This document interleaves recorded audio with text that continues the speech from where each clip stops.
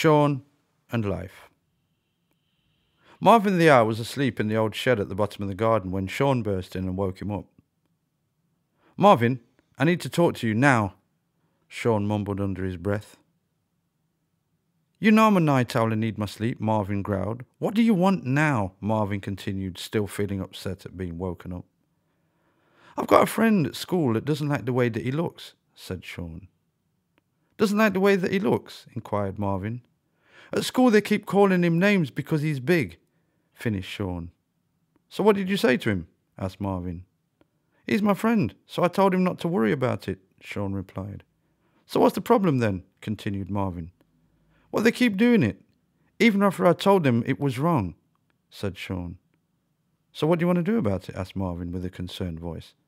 I don't know, Shaun replied in a sad tone of voice. Okay, pull up the story stool and sit down, instructed Marvin. Shaun sat down on the old stool, eagerly waiting to hear another great story. Marvin the owl leaned forward, flapped his wings, and said loudly, I say story, you say time. Shaun shouted even louder.